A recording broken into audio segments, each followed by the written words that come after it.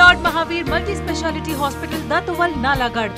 Modern well equipped OT ICU emergency lithotripsy and facility for all type of general surgery laparoscopic surgery gynae surgery and other surgery also Himachal के नाहन विधानसभा क्षेत्र के अंतर्गत आने वाली मजाड़ा नदी पर पुल बनाने का कार्य शुरू हो गया है। आज़ादी के बाद से ही इस नदी पर पुल बनाने की मांग गाँव वासियों द्वारा की जाने लग गई थी, क्योंकि इस नदी में पानी आने पर इस क्षेत्र के दर्जनों गाँवों का संपर्क अन्य क्षेत्रों से पूरी तरह से कट जाता था। बारिश में लोगों का आना जाना पूरी तरह से मजाड़ा नदी के जल स्तर पर निर्भर करता था।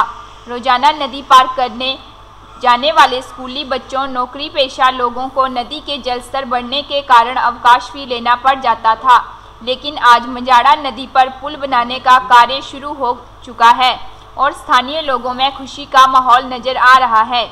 राजीव बिंदल विधानसभा अध्यक्ष, हिमाचल प्रदेश ने कहा कि आज़ादी के बाद से मजाड़ा नदी पर पुल बनाने की मांग जल्द पूरी होगी। ये पुल बनने जा रहा है, जो मंझाड़े की नदी में जो पुल बन रहा है, इससे गाँव, जितने भी आसपास के गाँव हैं, वो सभी गाँव वालों को बहुत फ़ायदा हो रहा है। और इस पुल का काम भी बहुत जल्दी ही कार्य से चल रहा है, बहुत स्पीड से चल रहा है। और जितनी जल्दी होगा मेरे ख्याल से ये बरसात से पहले पहले पुल हमारा तैयार हो जाएगा। क्षेत्र में तेरह, चौदह महत्वपूर्ण स्थान ऐसे हैं जहाँ पर पुलों का निर्माण होना चाहिए था। इसको लेकर के हमने लगातार संघर्ष किया पद यात्राएँ करी, धरने दिए, प्रदर्शन किए भूख हड़तालें करी, एमएलए प्रायोरिटीज में डाला कुछ पुलों को और हमने प्रधानमंत्री सड़क योजना में डाला और आज अनेक पुलों के ऊपर उन संघर्षों के कारण काम शुरू हुए हैं। मझाड़ा का पुल उसके अंदर से एक महत्वपूर्ण पुल है।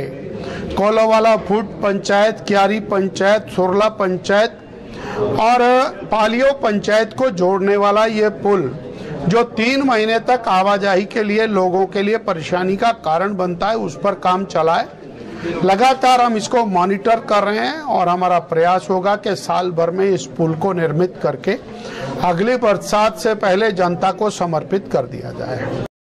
नाहन से राकेश नंदन की रिपोर्ट।